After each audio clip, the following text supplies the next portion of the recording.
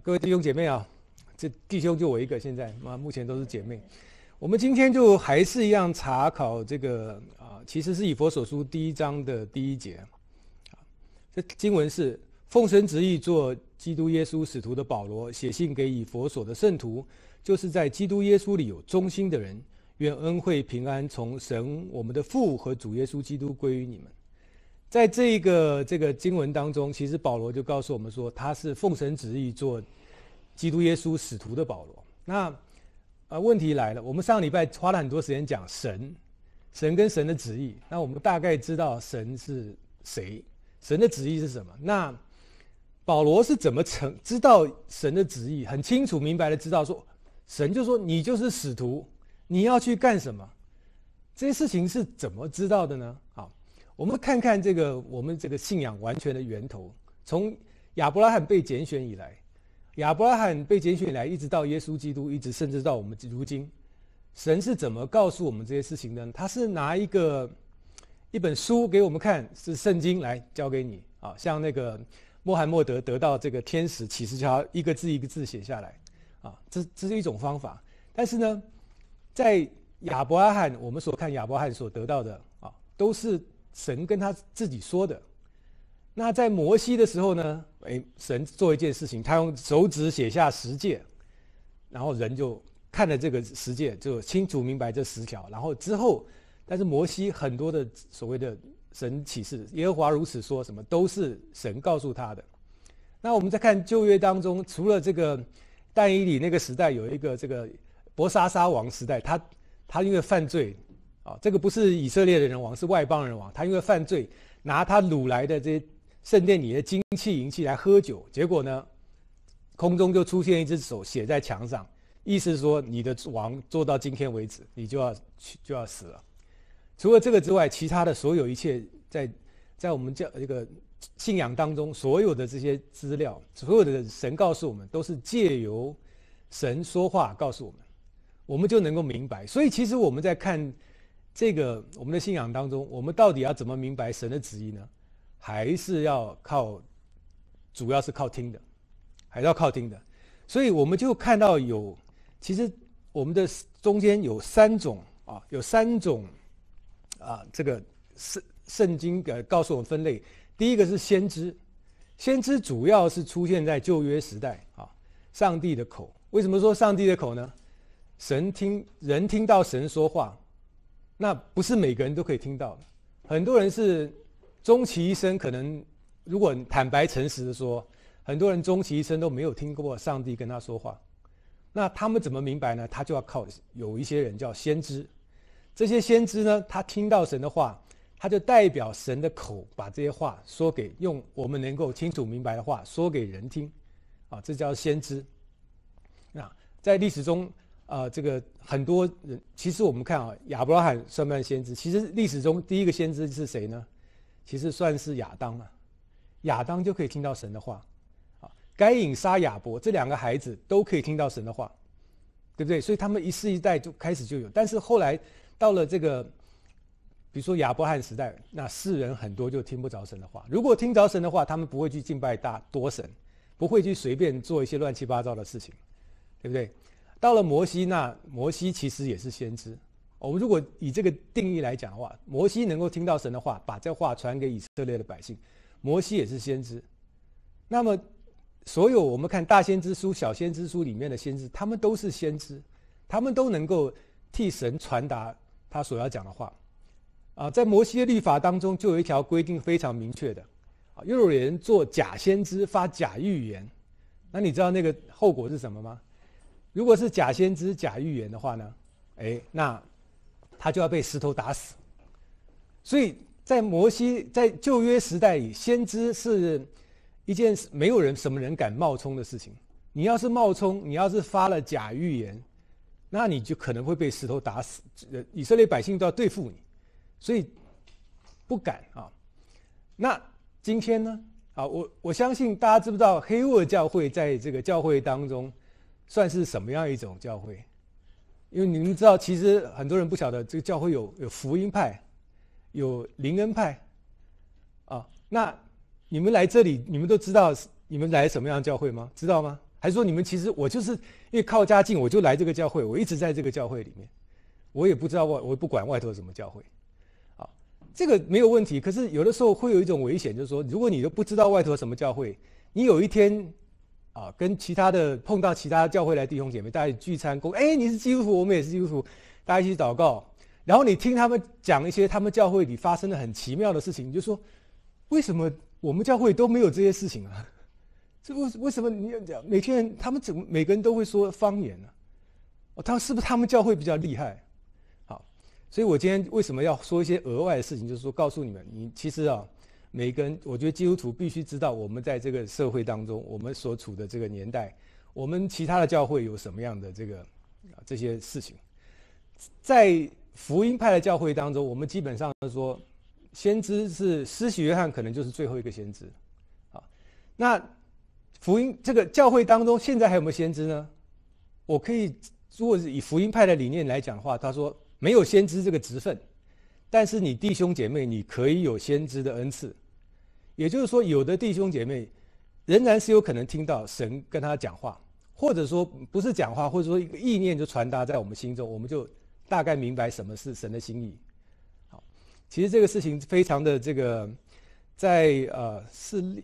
出埃及记当中吧，然后就是摩西跟米利安有一个争执的事情，然后，然后米利安说：“我们都可以知道神的话，对不对？我们都听过神的话。那摩西你可以做领导，为什么不能做领导呢？”耶和华就站出来说：“我对我的仆人摩西，我说话乃是用明语，很明白的话告诉你们。啊，对你们说呢，是一些像是像谜语一样，你们听不明白。所以。”其实，同样是先知，有人感受神的心，有人清楚明白听到神的话，那个是不一样的，是不一样的。那我们今天看，我们在这个世代当中，有所谓的先知啊，也有所谓的使徒啊。我就要讲到下面讲使徒了。使徒是是神在地上的大使，这定义来讲，神在地上，神的国度，他在人的世界当中设立，好像一个大使馆这样。我们在，啊，你就如果你在台湾或者中国，你就知道美国有大使馆，美国有大使馆设在中国，不是设在中国有，台湾是这个办事处嘛，它就这样一个等级，但事实上它也是行大使馆的这个功能。在英国有美国大使馆，可是如果你一辈子在美国的话呢，你不会知道有美国的大使馆。我美国。我一辈子住在加州，我到长到现在，我没有看过美国大使馆了。你当然没有看过美国大使馆，你就在美国里面，美国在国内是不会有大使馆，对不对？那大使是呃有它的定义啊，就说对方的国家如果对方的君王要什么事情要跟美国交涉的话，他就他就找美国大使来，我们谈谈，对不对？我们跟美国有什么事情，我们谈谈啊，这是大使。所以大使呢？如果对内他是行使一些权柄的，对外是宣告的。他我们这个美国利益是什么什么？那使使徒呢，在神国里面有相同的这个职，有相同的一个权柄跟职责。所以在天主教的认为里面呢，啊，天主教他们一直觉得说有使徒的，啊，他们是把使徒世代相传。天主教的第一个使徒是谁呢？其实你们都知道，就是彼得。彼得是做了罗马这个基督教会的第一任的这个等于牧长，他就是等于是像当时虽然没有给他教皇的这个这个 title，但是实际上他就是当时教会的领导者，所以他们世代相传，就是一代一代就是他们所谓的教皇就是使徒，他们就是教会的使徒，使徒可以告诉你什么事可以做，什么事不可以做，啊，你们不要觉得这个不重要，这个也是蛮重要的，我们待会会讲，待会讲为什么有这些差别。哦我再回到刚才的话题，我说我们现在的世代有先知，至少有人是这样讲的，我我是先知，我是使徒，还有一个这个一个机构叫做国际使徒什么什么什么中心啊，他们就有一堆牧者，他们说这里我这个是先知，这个是使徒，这个是什么什么啊，然后其实这些有些你们也看过，在在电视上很有名的牧者啊，川普身边都有啊。川普那时候祷告很多牧者帮他按手，其中有一些就是有有使徒的这个，他自他们说是使徒。那好了，那黑户教会呢？我们只有牧师啊，我没有看过先知，也没有看过使徒。那么你看，圣经我们看过这样多的先知跟使徒，那这些人，那我们教会这个是不是乡村教会没有什么厉害？神也不太重视我们，所以我们没有使徒，也没有先知啊？是不是这样讲？哎，其实啊，我告诉你啊，真的不一定是这样子，真正真正不一定是这样。使徒先知是自己封的吗？使徒先知是你想当就当了吗？我我我给各位看一个这个一个小孩子啊，这个小孩子他是一个牧师，他就在胸口穿 apostle。哦，我找另外找一个照片，他有一个中文的，他写使徒两个字就写在身上。他是一个台湾高雄一个教一个教会年轻小孩子，他还 OK 了，因为他创建一个教会，两三千人去了，然后。他就想办法去跟这个国际使徒中心搭上这个线，然后他就想说，一直想说，我来这边？我来申请一下，看你们能不能认可我们。那国际使徒中心，因为其实在这个基督教界也是有人有人认可他们，有人不认可他们。他们一看到有一个教会，哇，几千人来这边申请，那他们就派就派员考察，就有一些什么所谓先知啦，就跑到那边去跟他祷告啦，什么就这样。他就他们说，哎，我们准备认你为使徒，然后。这个小孩子在那个时候，人家还没有认他之前，他就穿上这些衣服了。使徒 apa 手啊，就很高兴，就跟会众讲说：“哎，你看，那这是什么意思？这个是这个他就是需要寻求人的认可嘛。所以我们也知道说，在这个在这个世界当中哦，好像我们看起来说，使徒跟先知是比牧师还要更高级，因为这些人都当过牧师，然后才去当先知使徒嘛。”可是事实上真的是如此吗？我认为他们去找一个先知或使徒的名分啊，加在自己身上，这个是不是说明他们有一种被人认可的一个需要呢？他们想要别人尊称他们呢？啊，他们想要这个呃弟兄姐妹更加尊敬他们，他们觉得他们要比别人高呢？非常有这个可能，所以。所以我觉得哈，如果各位弟兄姐妹在外头碰到所谓自称是先知使徒的，那其实你也不要说特别高看他们，可能你可能要同情他们，因为他们在这个路上啊，有一些认知的这个心理的障碍。坦白讲，我在侍奉的开始的时候，我也以为我是先知，因为我可以听到神说话。对啊，这个事情大家还可能不太晓得，这个我在。二零一四年一月的时候，第一次我我那个 email，我们这边有一个一个一个讯对不对？上面有我的 email address，上面有我的这个微信的 barcode，还有 QR code。那我的 email address 是 maggod twenty fourteen，因为我永远忘不了那一天，我就在这个 山里头，我在跑一个马拉松比赛的时候，跑到三十几公里的时候。前后无人，在山里，在一个还在一个峡谷的中间，就是两面都是山，有很高的树，上面呢不是一线天，比一线天宽一点，但是也没有很大，就这样在里跑。突然就听到神跟我有有人跟我说话，我就很惊讶，我就对不对？可是还在跑，跑步的时候是不会停的，那就跑。然后呢，也不知道什么事，然后他这个这个声音就跟我一直讲一件事情，一直一直讲。讲完以后，我就重我就重复说一遍，然后说错了，他再跟我讲，就讲了几次以后，我到了，我跑到终点以后，我就拿手机就当时记下来，那个是我第一次听到神说神对我说话。然后以后每次上山，除了在山里训练跑马拉松之外，我又多一个目的，就是我想听到神说话。神后来也说了几次了，啊，渐渐就不说话了，渐渐就用感知的了。反正可能是我听要听到神说话是很费力的，我也觉得说我在。山里无人之处，我特别能够感受到这种，因为可能在山下太嘈杂，所以我现在一个礼拜上两次山，就是在天还没有亮的时候就开始上山去就去祷告，然后到山上一个地方就跪在那边祷告，啊，这是我我常做的事情。那我刚开始我以为我是先知啦，我好像很了不起啊，当时我也觉得我很了不起，后来呢就就开始这个就开始沉淀，就觉得也没什么了不起，就是。呀，我能够明听到一点神的心意，又怎么样呢？可是你你圣经也不熟，你对弟兄姐妹也不了解，你你到底能做什么呢？我就慢慢的就发觉说，也这个东西是是有一些神会有一些能力给别人，但是神会不会用你，那是另外一回事。很多先知都是在他能开始听到神之话的时候，一继续侍奉，侍奉很多年，然后他才能够啊，就有人开始叫他是先知，或者说神才说差派你去做一些事情。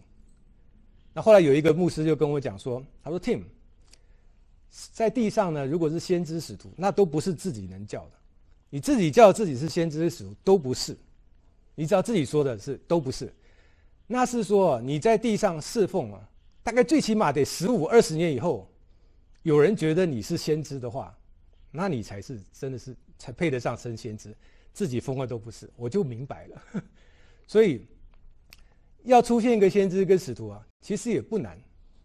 神一句话就就出现先知或使徒了，对不对？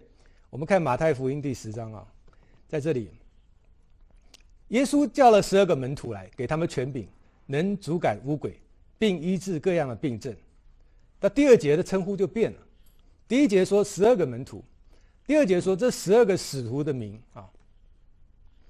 所以所所谓的使徒，对不对？神去差派你做一件事情，他他真正的委托你，那你就是。但这个十二个使徒使徒呢，还有一个叫呃，有个犹大，还有卖耶稣的加利人犹大，那。这个犹大他卖耶稣的时候也是奉差使嘛？哦，好，你说是也可以，因为耶稣曾经跟他讲说，他沾一点米放他盘子里，说你要做的事你去做吧。OK，这个我们就不要说太争辩，说到底是这个说还是奉差使，他最后去上吊了呢？那他还是使徒吗？他死，而且死后其实大家都知道他不配称使徒，他们又选了一个新的使徒出来。所以使徒就是说，神叫你做一件事情，你可能啊。看看人怎么称你啊？使徒跟先知都是人去称他们的，神看使徒跟先知，那不是看跟我们一样吗？我们是人，对不对？我们就不是神，所以使徒先知，神要封谁就是谁，神要叫谁去做事，神跟谁说话，那他能听见，他能够代表神的开口去跟人家讲，那他就是神的口，他就是先知，他可能就是使徒，所以。自称先知跟使徒的，那我在我现在对他们是敬而远之，比较危险，啊，比较危险。那么使徒还会做一些什么事情呢？像是，啊，这句话很重要。这个这个是什么时候呢？这个是有一次耶稣问门徒说：“人说我是谁？”啊，记不记得这个？人说我是谁？然后这个说你是施洗约翰啊，是什么什么？哎呀，施洗约翰，他有些门有些门徒应该还记得，他们同时看过耶稣跟施洗约翰了，对不对？所以这个人说都是乱讲，不会说耶稣也在，施施洗约翰还在，然后耶稣又是施洗约翰，那这个就很很奇怪了。那只有彼得说，他说你是神的儿子，是就是是我们的主是神的儿子，然后耶稣很高兴说，你这个话不是从人来的，是乃是天上的父告诉你的，然后他就说了这句话。他说：“你是彼得，我要把我的教会建造在你这磐石上，阴间的权柄不能胜过他。我要把天国的钥匙啊给你。这个天国的钥匙，如果你说教会建在磐石上，这个磐石不是彼得啊。这个我想这句话是很明白，磐石并不是彼得，彼得是小石子，磐石是很大的石头。所以，但是呢？”天父让彼得明白这件事情，所以这件事情就是教会的 foundation。神让人明白神要做的事情，那他这个事情是一个教会是可以建筑在这上面的。但是天国的钥匙给你是给谁呢？那个钥匙就必须有一个持有人。好，你在地上所捆绑，在天上也捆绑；凡你在地上所释放，在天上也要释放。这个一般的有人解经就说，这个就是基督徒。你基督徒就是教会有这个就有这个权柄，我们在天上地上所捆绑，在天上也捆绑，在地上所释放啊，天上也释放。好，那如果说教会有这个权柄的话，那教会也是蛮伟大的啊。然而不是，我不是这样看的，我是这这句话呢，就是呃针对是使徒来说的，因为彼得是使徒，他守守卫使徒，而且他明白神的心意，主就把这个权柄给他。怎么讲？我觉得用讲没有办法很讲很清楚的讲明白。我告诉你们一个例子好了。你知道，在犹太犹太的这个呃规条律法规条里面，如果有哥哥跟弟弟两个人，对不对？哥哥娶一个嫂嫂，结婚了，后来哥哥死了，这个老婆怎么办？这嫂嫂守寡吗？没有，马上嫁给弟弟，对不对？这个是在犹太里面是完全行得通的。所以我相信，在这个犹太人的基督徒里面，刚开始的时候，可能也碰到这种事情。哥哥有一个有娶个嫂嫂，嫂嫂死了，那么。这个嫂嫂马上嫁给弟弟，跟弟弟同房，这样对不对？这个在犹太人一一点问题都没有。可是这个事要传到中国或是印度某些这个保守国家里面，那就不行。如果说在中国，大家哎，我们因为本来是清朝，对不对？清朝人那这个有家庭这些伦理制度，后来这个家庭人就信基督徒，信基督教以后，然后呢，哥哥这个有。哥哥嫂嫂都是基督徒，弟弟也是基督徒。然后这个哥哥一死，然后马上嫂嫂要嫁给弟弟。在中国那不行，对不对？那你就马上说：“哎呀，你基督教根本就是邪教、淫教，对不对？”所以呢，在中国当时就要有一个人出来说：“不能这样做。”这个教在在我知道，对，没错，我们对于妇女啊，对这个这些尊重，在犹太国可以这样子。可是来到中国，你不能再这样搞，所以一定要有人出来说不行。中国基督徒如果嫂哥哥死了，嫂嫂不能嫁给马上嫁给弟弟，不行，他就要定出一些规定来。所以这个事情就是说，我在地上有些东西是可以捆绑，不要做；有些东西是可以放开来的，对不对？所以使徒在我们仔细回去看天主教的这个教皇，他基本上就有这个权利。在教皇以前，他是天主教是禁止使用避孕措施的。后来，因为现在人口越来越多，教皇后来又改口了，他说可以使用避孕措施。那，那这个就是一个捆绑跟释放的权利了。那对于弟兄姐妹来讲的话，那就是一个顺服。他说是怎么样？虽然说不，这个不是主耶稣基督亲自跟我们讲的，圣经上也没有说到底可不可以使用这个避孕措施。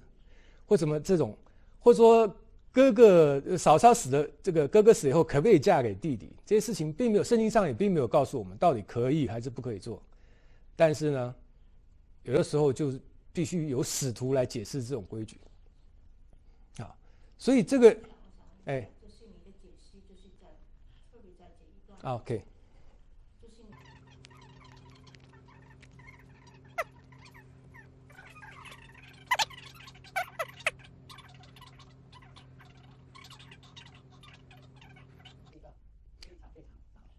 他就是后来的天主教的教皇啊，第一任教皇，他就是等于是这样。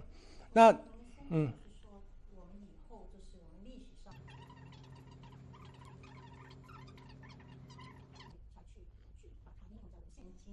我我查过很多解经书，那有人就讲说啊，我们要捆绑撒旦啊，捆绑罪恶了，这个不需要耶稣给大那个当时犹太人都就是基本上知道这个事情，对不对？然后为也没有说。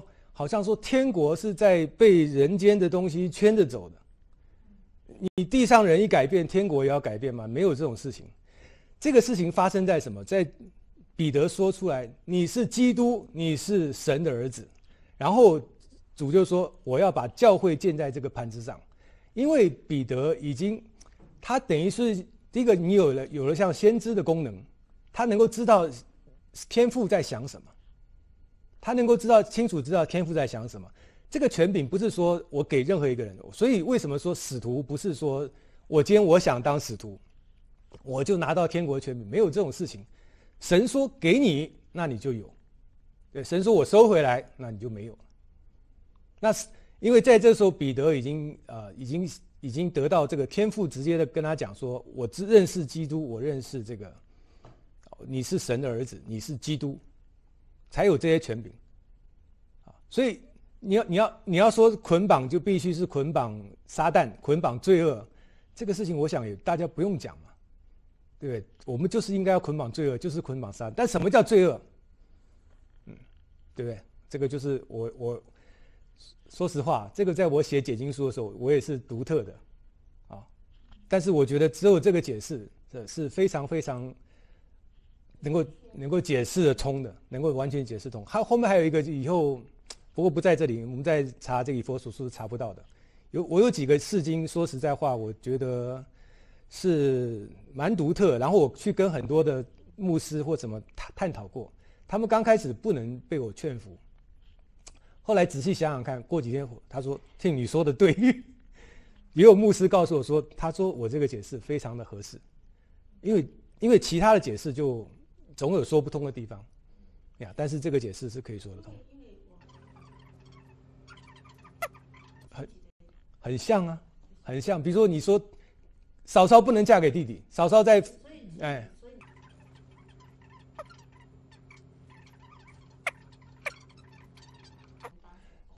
我们要知道一件事情：神是个灵，然后在天上呢，我们跟神的使者是一样的，也不嫁也不娶。那你说这个事情，嫂嫂能不能嫁给弟弟这个事情，跟天上有什么关系啊？其实是没有关系的。你们其实可以啊，亚当的儿女兄妹成婚，那也没有关系。可是今天就不行。今天如果说没有，如果说我们完全按照这个创世纪这种，或者是使徒时代、耶稣时代。这种来过生活的话，其实跟天国有的时候不见得有关系。跟天国你能不能进天国没有关系。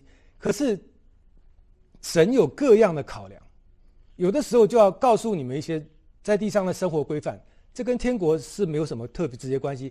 但是既然他这样讲了，一个使徒这样说，或者一个教皇这样说了，那我们就不要随便去去犯这个事情。这个是有道理的。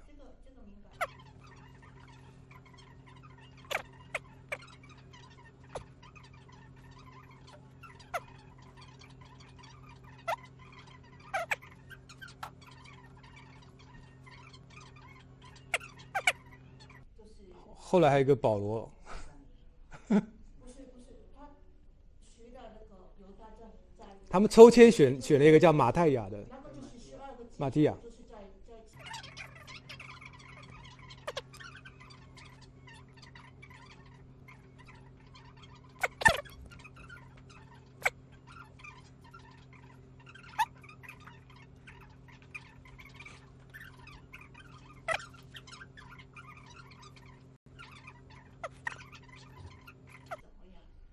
所以啊，刚才你有没有听到我一开始对于这个世代的使徒跟先知，我是怎么讲的吗？我刚刚讲过。其实我现在再把明再明明明白讲一点，你现今这个时代，你说你要我找一个使徒跟一个先知，我告诉你，使徒跟先知在每一个摩门教的教会里都有，每一个他们是世代暗守。如果说我刚刚讲天主教这个教皇的定义是比较还算比较严谨，因为他们整个天主教一个。OK，这也是比较严谨的。那更严谨就是说，其实我们根本不相信。你现在上网去记这句话，你要注意啊！你现在上网去搜寻使徒跟先知，凡是 Google 告诉你的，我我的意见都是假的。就是说，怎么讲呢？我不反对说这个世代可能有先知，因为先知是神说有就有。他可能在我比如说来讲吧，在施洗约翰以前，我们说四百年没有先知。所以神不觉不觉得有需要的时候呢，他可以就没有先知，不是每一个世代都必须要有先知的，也不是每个世代就必须要去使徒的，这个我绝对赞成。当神需要做这个事情的时候，他他去差派一个人，你他说你是先知，他就那个就是先知，自己说的呢，那都是假的。我不知道这个世代有没有先知啊，但是你现在去 Google 一下，先知一大堆。对这个这个是不是一个什么问题呢？假如真的有先知，我我们假设啊，假设这个时代有先知，那你在 Google 上你找不到他，因为他被埋藏在几万个假先知里面，你根本看不到。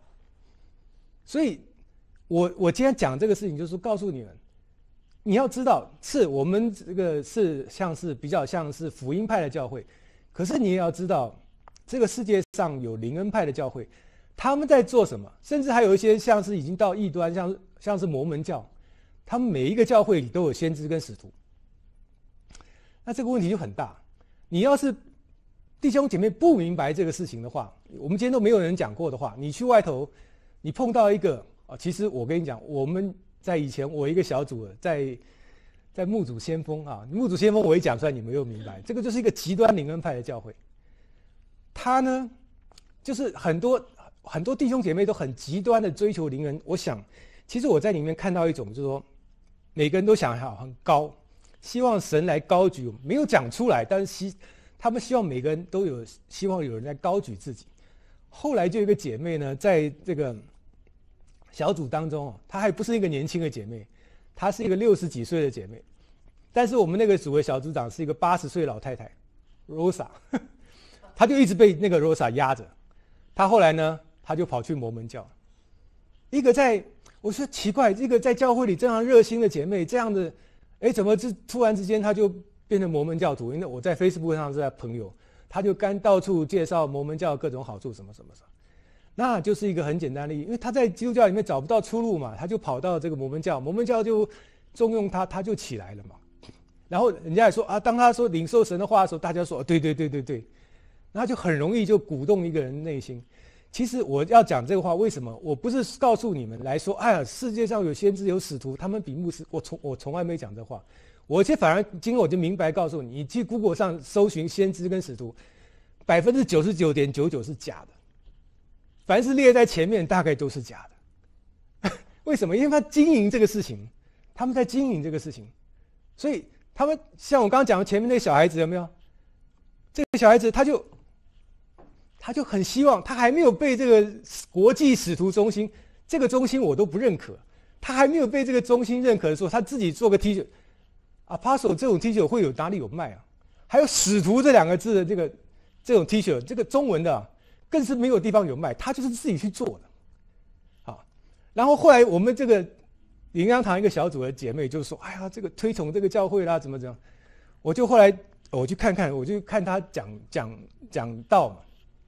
他有一场就录制了一个好大的题目哦，叫做《旧约与新约概论》。我去看，他整个 video 一小时零五分，他讲到的内容就在 under 一刚好在一个小时，他一个小时就把新约跟旧约跟新约讲完，我真是对他佩服的五体投地。那他就是这样一个使徒了，那你你们相信那这个是什么？是我认为他使徒，还他就是一个，对不对？所以我今天讲这个，不是说告诉你们说你们。呀，对，其实你们如果听到外头有说先知讲什么，使徒讲什么，那你们都要特别小心，真的要特别小心。墓主先锋还很推崇一个先知，叫拿尼尼拿啊拿他 Jones 还是什么的，忘记的名字哦。她是一个女先知。然后呢，哎呀，常常在小组里面讨论的时候，就听到我们组长说啊，拿他 Jones 说什么，拿他 Jones，他不是在我们小组里头，不是说这个彼得说什么，这个有的时候会有了，当然不是说完全没有。但是也有讲到这个纳塔琼斯说什么，说很多很多。后来我就很奇怪，我就开始 Google Google 这个人到底是谁啊？结果那个发现他在他曾经在一九九几年九六年的时候吧，还是九几，反正就在两千年之前，他说美国在二零零六年会被这个美国的东海岸会被一个大陨石毁灭，所以你们要悔改。但是当时嘛，一不到两千年的时候讲这话，大家都很害怕。你们要悔改，神就要来了，神要惩罚美国，什么一大堆讲一大堆。二零零六年，美国东海岸，他说神带他上去看到，他看到美国东海岸这边一个大洞，里头都是海水，怎样怎样讲一大堆，好可怕的事情。二零零六年，现在几年？那如果在摩西那个时代，这个女的就要被打死，对不对？后来他就说，后来过了二零零六年，大家那时候其实很多人在很。很很黑色的，很在很惊，在等待这个事情发生，还在那祷告什么。后来他说，跑出来说，他又安静了一段时间以后，他会发说，神跟我讲，他把这个事情延后，反正都可以自圆其说。那你说这样的人，那我我不晓得，但是人家都说，很多人说他先知了，那你们说他是什么呢？我不知道，对不对？所以你们听到这些事情，你要小心啊。但，但我也不能否认说，哎，这个，这个，这个神就，哎，怎么搞的？神就告诉，呃，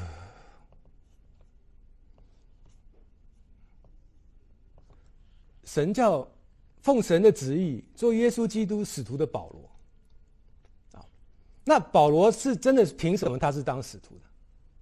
其实我们知道，保罗做被基督拣选是有一个神奇的过程，大家都知道对吧？有没有人不知道的？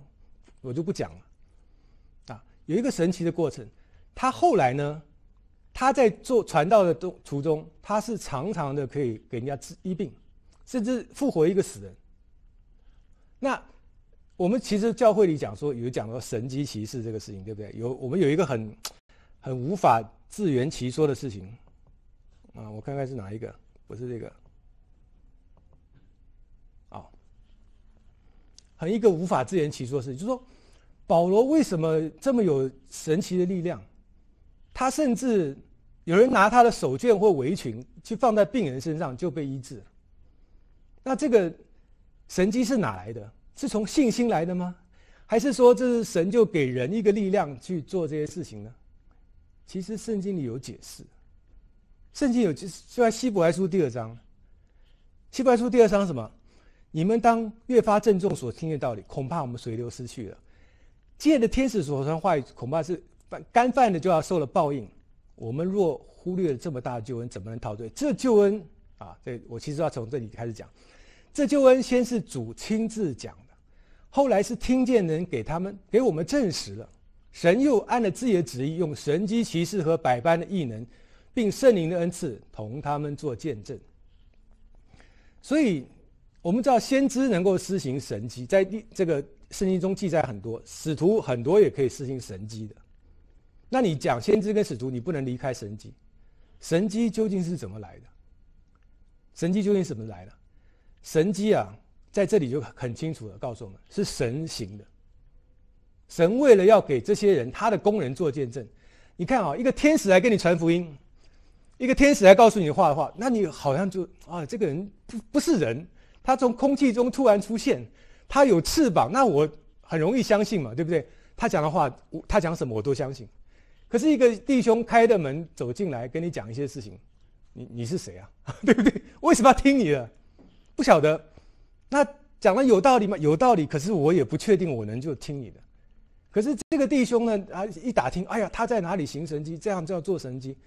甚至我拿他的手帕去放在我们家病人身上，他就好了。哎呀，那这个人可能真的是神人吧？你至少要这样讲。其实这种事情就是神为为他的工人做见证。神迹不是不是人行出来的，神迹是神行出来的。神行出来的时候，神行这神迹是有目有目的，有一个目的在的。他要给他的工人做见证。他的工人在世上传的时候，有时候。有的时候很辛苦，有的时候打不开一个门。哦，你到一个岛上去都是土人，那个土人根本就听不懂在讲什么。可是呢，他们里头有人生病了，对不对？你那个保罗其实有发现这个事啊。马他马他岛的时候，他进去那边，那些土人的这个酋长的爸爸病了，然后他就哎就治好了，治好很多人又来又都治好了，这个就开了一个福音的门，这就开了一个福音门。那你你后来在讲什么？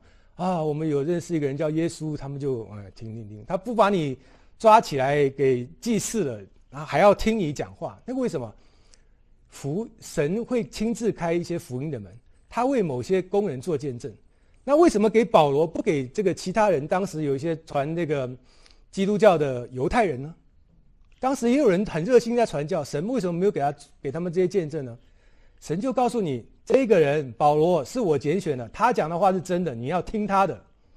他能去赶鬼啊，他能够医病啊。你拿他的手巾，拿他的围裙去给病人一盖，他都能够好。那你说他是谁？这神很明白的告诉我们说，那就这样。这个是这个是我所拣选的仆人。为什么我们很愿意？大家的弟兄姐妹都很愿意说保罗是使徒。我们讲说前面十二个对不对？后来加上一个抽签抽出来的。大家都哎，那些都是使徒，但是一个保罗，他是一个身在外邦的犹太人，他出来讲话，为什么我们现在这么愿意听、相信？就是保罗其实就是使徒，啊，你不要说圣经，因为圣经告诉我们对，可是其实在他的他的这个这，比如说希伯来，就比如说希伯来书，不是不是希伯来书，腓利呃，以弗所书被人家接受之前，那谁知道他是谁？对不对？那因为有神给他做见证啊，所以那些教父们，啊，那些刚出的在基督教里有很重要位置，他们要决定圣经的时候，他们也参考这些事情啊，是神的工作使他们真的相信这个人保罗，他是忠心为主做事工，而且神也为他用神机骑士并各样异能的恩赐、圣灵的恩赐给他们做见证，所以我们愿意相信保罗是使徒，对不对？这个这样讲就明白了吧？所以呢。先知使徒是这样啊，那先知，我们觉得先知，呃，哦，对我还有还有一个经，一个经我看看在哪里啊？是讲约珥书的，啊，所以，那我在这个福音派教会里常常有碰到一个问题，就是很多人不愿意相信啊，这走这个走了两个极端。我刚刚讲先知使徒百分之百九十九点九都是假的。那另外一个极端是说，就是我们就是很奇怪，你只要说有可以有预言的、有异梦的、有意象的，我们也都不接受。有个弟兄，有个或者有个弟兄姐妹说啊，我昨天晚上梦到什么？我昨天讲，在某些教会里，哦，有些教会真的这样，好高兴啊，有这个异梦赐下来，意象赐下来，在某些教会里，大家听了以后就面面相觑，就不肯相信。这又是另外一个极端。可是约珥书就告诉我们说，以后我要将我的灵浇灌凡有血气的，你们的儿女要说预言，你们的老年人要做异梦，少年人要见异象。在那些日子，我要将我的灵浇灌我的仆人和使女。现在我们在福音派教会里很愿意承认说，圣灵浇灌我们，我们有都有圣灵啊，因为经书圣经上这样写。可是你你被圣灵浇灌以后。有些人会说预言呢，有些人会做异梦，有些人做异象，这个存不存在呢？圣经上这样讲，我我相信是真有，而且事实上是真正的有。呃，我也相信存在，但是我相信 他们说的预言。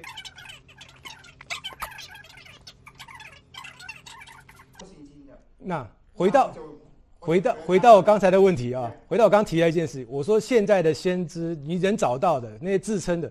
百分之九十九点九是假的，那这些人九百分之九十九点九的假的人说的预言，你觉得有可信吗？不可信，对不对？现在的问题就是说，真预言、真的异梦、真的意象被埋在这一大堆的这假的东西当中，你根本就很难找到。我们确实很难找到哪个是真的预言，哪个是真的从神来的意象跟异梦，确实也很难找到。所以呢，没错，我觉得今天呢。你去，你可以用圣经来做一个很好的一个 filter，这个东西跟圣经所讲的不同，或者稍微有点不同的话呢，你不要轻易相信。但是我们也不能说就没有这个世界上不会再有预言了，不会再有异梦，不会再，同样是不能相信，对不对？你知道百分之九十九点九，那还有一个百分之零点零一的可能会有真的。好，还有我再解释一个什么叫预言。以前我那时候年轻的时候，不是说我是。我说我可以听到神的话，我有可以先知吗？他说，人家说你先知，哪发个预言啊。在他们的印象里，就说先知预言呢，就是就是你可以把未来的事讲出来。我告诉你，这不是不是预言的意思。预言不是说未来会发生什么，预言就是神告诉你什么，你说什么。有些时候，有一些时候，神会告诉你将来要发生什么事。这种话你听出来，你就知道哦，这是将来要这样做，要这样成就。这是预言，这个“预”字中文翻译是从这样来的，但是实际上呢，并不是说啊，并不是说这个先知讲的预言一定是将来要发生的事。那怎么办呢？好，结论怎么办呢？我相信世界上即使到如今，也可能会有先知，也可能会有使徒，但是我真的不知道他们在哪里。我相信那些自己去按手、自己去说他是的，我就不相信。凡是他自己这样，越是这样讲，我越不相信，对不对？拿个穿个使徒 T 恤在身上那种，我觉得不可能是使徒。那怎么办？那就就小心了。既然这个路可能走不通了，那你就不要太去相信这种东西，要小心。小心的怎么办呢？最好的话就是说。我觉得一般弟兄姐妹是没有办法判断的，甚至有些牧师都没有办法判断清楚。那你怎么办呢？你你就在信仰的道路上，要真的很小心。那你就比如说有一个弟兄告诉你，我有个感动啊，神对你什么什么有什么感想，你你你要相信吗？你要看这个弟兄，他这一辈子他做了什么事情？他如果这一辈子常常在做一些误导人的事啦、荒唐的事情啦，那他这样的弟兄说我是先知，我告诉你什么，你真的不能相信。如果这个弟兄他的他从他身上你看出很明显有基督的生命在里面，常常做一些符合神心意的事情，他所做的接近符合神的心意，他常常做这种导导引人向善。要怎么样认识神啊？你怎么样告告诉你应该如何祷告？这个能够更符合神心意的话，一个这样基督徒，可能最起码看他过去十年、二十年这样，就像刚才那个有一个牧师朋友告诉我的，你去看一个人说是先知，那你都不是人家自己说的，这是十几年人家看他十几年以后，觉得他像先知才称他先知的，这个这个就比较可能。凡是自己称的，我就。反正我基本上我就不相信，好，那国际使徒中心讲一个叫七座山，你们听过没有？他们觉得要在教育啦、什么影视啦、这种政治啊，七个山头要来帮助基督教。这个预这个东西，这个这个意向呢，已经出来有二十年了，还是三十年了吧？好像也没有看到实现。可是很多教会很相信，那。那我们就看，我们也不敢讲说今天就下定论说，哦，这 Tim 讲了这个东西是假的，我们也不要这样讲，我们就看着办，我们就走着看。如果是神的心意，那一定会实现的；如果不是神的心意，他们慢慢的等，好不好？我想今天就讲到这边，大家现在有什么问题？这一节会不会比较多问题啊？有没问题？没有问题啊！哦，我今天有一张这个单子，因为上次大家收了这个大家写 email 的单子以后，我我高估了我读这个读大家手写的能力啊，这个很很难弄清楚。有一个这个有我的微信的 QR code，你可以扫我的 QR code。那这次我一定加我朋友，我就把这讲义啊，甚至这个录像我会发给你们。好嘞，结束了是吧？对，谢谢谢。辛苦。